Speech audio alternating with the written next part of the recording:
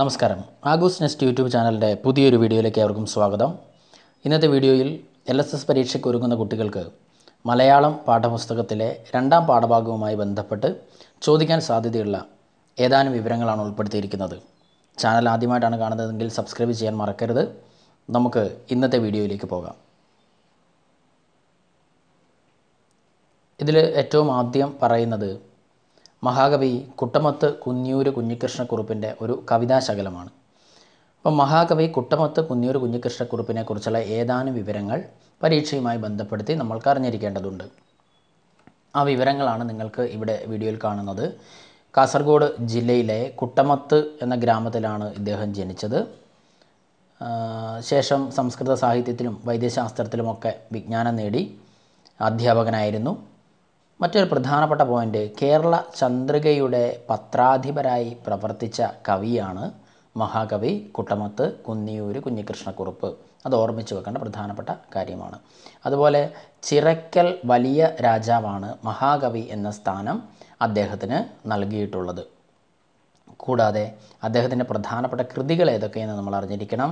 ഒന്ന് കാളിയമർദ്ദനം രണ്ട് അമൃതരശ്മി പത്തഭാഗം ദേവയാനി ചരിതം ബാലഗോപാലൻ നചികേതസ്. ഇതൊക്കെ അദ്ദേഹത്തിന്റെ പ്രധാനപ്പെട്ട കൃതികളാണ്. അപ്പോൾ ജനിച്ചത് കുട്ടമത്ത ഗ്രാമത്തിലാണ്. കേരള ചന്ദ്രികയുടെ പത്രാധിപരായി പ്രവർത്തിച്ച കവിയാണ്. ചിറക്കൽ വലിയ രാജാവാണ് മഹാകവി എന്ന സ്ഥാനപ്പേര് അദ്ദേഹത്തിന് നൽകിയത്. കൂടാതെ അദ്ദേഹത്തിന്റെ പ്രധാനപ്പെട്ട കൃതികൾ നമ്മളിപ്പോൾ കേട്ടിട്ടുണ്ട്. അപ്പോൾ ഇത്രയും കാര്യങ്ങൾ മഹാകവി കുട്ടമത്ത് കുന്നിയൂർ കുഞ്ഞികൃഷ്ണക്കുറുപ്പിനെ കുറിച്ച് നമ്മൾ അറിഞ്ഞിരിക്കണം. ഇനി നെക്സ്റ്റ് സ്ലൈഡിലേക്ക് നമുക്ക് പോകാം.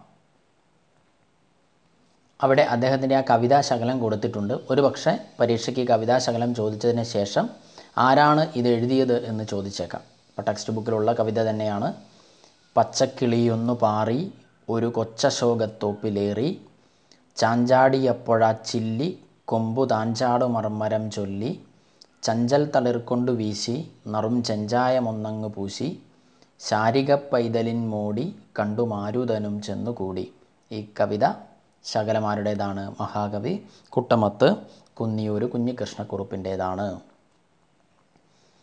അടുത്തതും പ്രധാനപ്പെട്ട ഒരു എഴുത്തുകാരിയെയാണ് നമ്മൾ പരിചയപ്പെടുന്നത്. നമ്മുടെ പാഠഭാഗവുമായി ബന്ധപ്പെട്ട് നമ്മൾ അറിഞ്ഞിരിക്കേണ്ട ആളാണ് മേരി ജോൺ കൂത്താട്ടുകുളം. എറണാകുളം ജില്ലയിൽ കൂത്താട്ടുകുളത്താണ് മേരി ജോൺ കൂത്താട്ടുകുളത്തിന്റെ ജനനം. തപാൽ വകുപ്പിൽ ഉദ്യോഗസ്ഥയായിരുന്നു. അതൊന്നും വളരെ പ്രധാനപ്പെട്ട കാര്യങ്ങളല്ല. നമുക്ക് വേണ്ടത് ഈ മേരി ജോൺ കൂത്താട്ടുകുളത്തിന്റെ പ്രധാനപ്പെട്ട കൃതികൾ ഏതൊക്കെയെന്ന് നമ്മൾ അറിഞ്ഞിരിക്കണം. അന്തി നക്ഷത്രം ബാഷ്പമണികൾ പ്രഭാതപുഷ്പം കാവ്യകൗമുദി കാറ്റു പറഞ്ഞ കഥ. അപ്പോൾ ഈ ഭാഗത്ത് ഏറ്റവും പ്രധാനമായി നമ്മൾ ഓർമ്മിച്ച് വെക്കേണ്ടത് മേരി ജോൺ കൂത്താട്ടുകുളത്തിന്റെ പ്രധാനപ്പെട്ട കൃതികൾ ഏതൊക്കെയാണ് എന്നാണ്. അടുത്തത് അർത്ഥം കണ്ടെത്താനുള്ള കുറച്ച് കാര്യങ്ങളാണ്.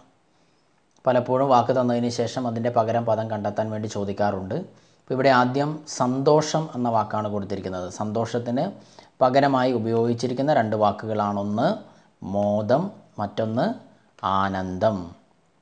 ഇനി താഴെ അടുത്തത് മഞ്ഞ്. മഞ്ഞിന് ഓർമ്മിച്ച് വെക്കേണ്ട മൂന്നെണ്ണം ഹേമന്തം തുഷാരം ഹിമം. നെക്സ്റ്റ് ശീതളം എന്ന വാക്കാണ്. ശീതളം എന്ന വാക്കിന് പകരം തണുപ്പ് ഈർപ്പം ശൈത്യം. അടുത്തത് പൂവ് എന്ന വാക്കിന് പകരം ഉപയോഗിക്കുന്നതാണ് സുമം കുസുമം പുഷ്പം. അപ്പോൾ ഈ വാക്കുകളൊക്കെ നമ്മൾ ഒന്ന് പഠിച്ചിരിക്കണം. അടുത്തത് മാതൃക പോലെ പദം പിരിച്ചെഴുതുക. പലപ്പോഴും പരീക്ഷയ്ക്ക് ഒരു പദം തന്നതിന് ശേഷം അതെങ്ങനെ പിരിച്ചെഴുതാമെന്നോ അല്ലെങ്കിൽ പിരിച്ചെഴുതിയ പദം തന്നതിന് ശേഷം അതെങ്ങനെ കൂട്ടി എഴുതാമെന്നോ സാധാരണ ചോദിക്കാറുണ്ട്. ഇത് പ്രധാനപ്പെട്ട ഒരു നാല് വാക്കുകളാണ് ഇവിടെ കൊടുത്തിരിക്കുന്നത്. ഒന്ന് മുത്തണിഞ്ഞു. മുത്തണിഞ്ഞു മുത്ത് പ്ലസ് അണിഞ്ഞു. നാമ്പുണരുന്നത്. കുറച്ച് ബുദ്ധിമുട്ടുള്ള വാക്കാണ്. ശരിക്കും ശ്രദ്ധിക്കണം. നാമ്പ് പ്ലസ് ഉണരുന്നത്. മൂന്നാമത്തത് ആർത്തിരമ്പുക ആർത്ത് പ്ലസ് ഇരമ്പുക. നാല് ചോദിച്ചിട്ടുള്ളതാണ് കുരുന്നില. കുരുന്ന് പ്ലസ് ഇല. അപ്പോൾ ഈ മാതൃക പോലെ പദം പിരിച്ചെഴുതാനുള്ള ഈ നാല് പദങ്ങൾ കൃത്യമായി നമ്മൾ ഓർമ്മിച്ച് വെക്കണം. അടുത്തത് എന്റെ പനിനീർച്ചെടി എന്ന പാഠഭാഗത്ത് നമ്മൾ ഓർമ്മിച്ച് വെക്കേണ്ട അർത്ഥങ്ങൾ ഏതൊക്കെയാണ് എന്നാണ് ടെക്സ്റ്റ് ബുക്കിൽ വ്യക്തമായിട്ട് അത് കൊടുത്തിട്ടുണ്ട്. ഒന്ന് ഇവിടെ നമ്മൾ ഉൾപ്പെടുത്തുന്നു. അങ്കണം മുറ്റം. അനുവാസരം ദിവസം തോറും. അങ്കുരിക്കുക മുളയ്ക്കുക. അംഗം അവയവം. അനുവേലം എപ്പോഴും. അന്തരംഗം മനസ്സ്. ഉച്ചവയിലേറ്റു ഉച്ചവെയിലേറ്റു. ഉല്ലസിക്കുക ശോഭിക്കുക. കണം തുള്ളി. ജാതം ജനിച്ചത് അല്ലെങ്കിൽ ഉണ്ടായത്. തുഷാരം മഞ്ഞ്. നാമ്പ് തളിർ. പുൽകുക ആലിംഗനം ചെയ്യുക. പുളകം രോമാഞ്ചം. പുലരി പ്രഭാതം. മനം മനസ്സ്. മന്ദഹസിക്കുക പുഞ്ചിരിക്കുക. മോദം സന്തോഷം.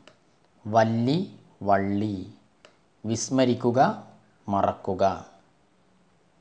ശീതളം തണുത്ത. ശ്യാമളം കറുത്ത. സാഗരം സമുദ്രം. സൗഭഗം സൗന്ദര്യം. ഹേമന്തം മഞ്ഞുകാലം. ക്ഷുദ്രം ചെറിയ അല്ലെങ്കിൽ നിസ്സാരമായ. അടുത്ത പാഠഭാഗവുമായി ബന്ധപ്പെട്ട് ഓർമ്മിച്ചു വെക്കേണ്ട എഴുത്തുകാരനാണ് പിണ്ടാണി എൻ ബി പിള്ള. അദ്ദേഹം ആലുവയ്ക്കടുത്ത് അയിരൂരിലാണ് ജനിച്ചത് അധ്യാപകനായിരുന്നു. ഇദ്ദേഹത്തിന്റെയും പിണ്ടാണി എൻ ബി പിള്ളയുടെയും കൃതികൾ മാത്രമാണ് നമ്മളിവിടെ ഓർമ്മിച്ചു വെക്കേണ്ടത്. കരമൊട്ടുകൾ കാടുണരുന്നു ആനക്കാരൻ അപ്പുണ്ണി കുട്ടനും കിട്ടനും. അപ്പോൾ ഈ നാല് കൃതികൾ പരീക്ഷയുമായി ബന്ധപ്പെട്ട് നമ്മൾ വ്യക്തമായി പഠിച്ചു വെക്കണം.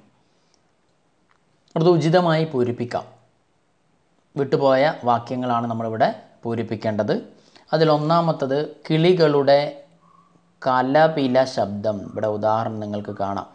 കിളികളുടെ കലപില ശബ്ദം. അതുപോലെ ഇവിടെ നമ്മൾ ഓർമ്മിക്കേണ്ടത് നേരം ഡാഷ് വെളുത്തു എന്നാണുള്ളത്. അപ്പോൾ നേരത്തിനൊപ്പം നമുക്ക് ചേർക്കാവുന്ന വാക്ക് ഏതാണ്? നേരം പരപരാ വെളുത്തു.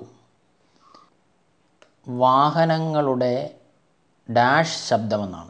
അപ്പോൾ വാഹനങ്ങളുടെ കടകടാ ശബ്ദം. ഇതാണ് രണ്ടാമത്തത്. ഇനി മൂന്നാമത്തത്. മഴ ഡാഷ് പെയ്തു. മഴ ചറപറ പെയ്തു. അല്ലേ? മഴ ചറപറ പെയ്തു.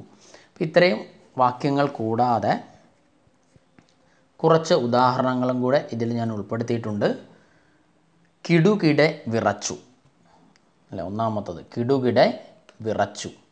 രണ്ട് മണിമണിയായി ഉത്തരം പറഞ്ഞു. മൂന്ന് കിലുകിലെ ചിരിച്ചു. മടമട കുടിച്ചു. കറുമുറ തിന്നു. അവൾ പിറുപിറുത്തു.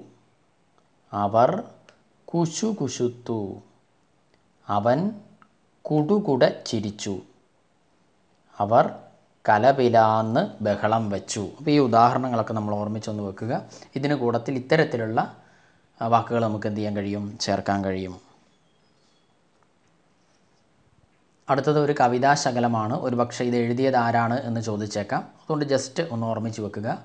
കുനുകുന ചിന്നും കുറുനിര തന്നിൽ നനുനനെ പൊടിഞ്ഞൊരു പൊടിപറ്റി ഈ കവിതാശകലം ആരുടേതാണ്? എഴുത്തച്ഛന്റേതാണ്. അടുത്ത വളരെ പ്രധാനപ്പെട്ട ഒരു ഭാഗമാണ് പത്രവാർത്ത തയ്യാറാക്കുക എന്നുള്ളത്. ഇപ്പോൾ പത്രവാർത്ത തയ്യാറാക്കുമ്പോൾ നമ്മൾ ശ്രദ്ധിക്കേണ്ട കാര്യങ്ങൾ എന്തൊക്കെയാണെന്ന് നമുക്കറിയാം. ഇതുമായി ബന്ധപ്പെട്ട ഒരു വീഡിയോ കൂടി ആസ്വാദനക്കുറിപ്പ് പത്രവാർത്ത അനുഭവക്കുറിപ്പൊക്കെയായി ബന്ധപ്പെട്ട ഒരു വീഡിയോ കൂടി ഇതിന് ശേഷം ചെയ്തിടുന്നുണ്ട്. അപ്പോൾ ഇവിടെ ജസ്റ്റ് ഒന്ന് ഓർമ്മിച്ച് വെക്കുക. ഒരു പത്രവാർത്ത എഴുതുമ്പോൾ അതിന് ഒരു തലക്കെട്ട് ഒരു തലവാചകം ഒരു ഹെഡിങ് ഉണ്ടായിരിക്കണം. രണ്ട് എവിടെയാണോ ഈ സംഭവം നടക്കുന്നത് ആ സംഭവം നടന്ന സ്ഥലം നമ്മളവിടെ രേഖപ്പെടുത്തിയിട്ടുണ്ടാവണം. ഇവിടെ ഉദാഹരണത്തിന് ഇവിടെ നോക്കുമ്പോൾ എന്താണ് ഹെഡിങ് കൊടുത്തിട്ടുണ്ട്. എന്താണ് ഹെഡിങ്? മഴ കോരിച്ചൊരിഞ്ഞപ്പോൾ തീ അണഞ്ഞു. ഇതാണ് ആ വാർത്തയുടെ ഹെഡിങ്. ഇത് നടന്നത് എവിടെയാണ്? നടന്ന സ്ഥലം കണ്ടോ? വടക്കൻ മല എഴുതിയിട്ടുണ്ട്. അതിനുശേഷം ആ നടന്ന സംഭവം എന്താണെന്ന് വളരെ ചുരുക്കി നമ്മൾ എഴുതണം. ഇവിടെ എഴുതിയിരിക്കുന്നത് നിങ്ങൾക്ക് വായിച്ചാൽ മനസ്സിലാവും. ഇന്നലെ രാത്രിയിൽ ഏതാനും നാട്ടുമനുഷ്യർ ഞാവൽക്കാടിന് തീവച്ചെങ്കിലും മഴ പെയ്തപ്പോൾ തീയണഞ്ഞു ഞാവൽ മരത്തിൽ താമസിക്കുന്ന ഉണ്ടക്കണ്ണൻ മൂങ്ങയും കൂട്ടരുമാണ് ആദ്യം കാഴ്ച കണ്ടത്. ഞാവൽ മരത്തിലെ പക്ഷികൾ ഇത് കണ്ട് പരിഭ്രാന്തരായി. പക്ഷികളുടെ നേതാവായ ഗരുഡമ്മാവൻ എല്ലാവരെയും സമാധാനിപ്പിച്ചു. കാക്കകളിൽ ചിലർ താവളം വിട്ടുപോയി. ചെറുപ്പക്കാരായ മൂങ്ങകളും സ്ഥലം വിടാൻ ഒരുങ്ങി. പെട്ടെന്ന് കാട്ടിൽ മഴ പെയ്തു. തീ അണഞ്ഞപ്പോൾ പക്ഷികൾക്ക് ആശ്വാസമായി. മനുഷ്യർ നിരാശരായി നാട്ടിലേക്ക് മടങ്ങി. ഇതാണ് ആ വാർത്ത.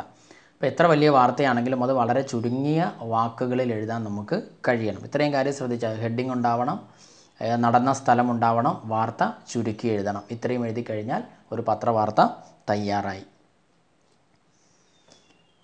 അടുത്തത് നമ്മുടെ ആ പാഠഭാഗവുമായി ബന്ധപ്പെട്ട് നമ്മൾ ഓർമ്മിച്ചു വെക്കേണ്ട പ്രധാനപ്പെട്ട ഒരു വ്യക്തിയാണ് ഡോക്ടർ സലീം അലി. ലോകപ്രശസ്തനായ പക്ഷി നിരീക്ഷകനാണ് ഡോക്ടർ സലീം അലി. അദ്ദേഹം ജനിച്ചത് മുംബൈയിൽ. ബോംബെ നമ്മൾ പറയില്ലേ? മുംബൈയിലാണ് അദ്ദേഹം ജനിച്ചത്. ഇനി പ്രധാനപ്പെട്ട ഒരു പോയിന്റ് ഇവിടെ ഓർമ്മിച്ച് വെക്കുക. ഇന്ത്യയുടെ പക്ഷി മനുഷ്യൻ എന്നറിയപ്പെടുന്നത് ആര്?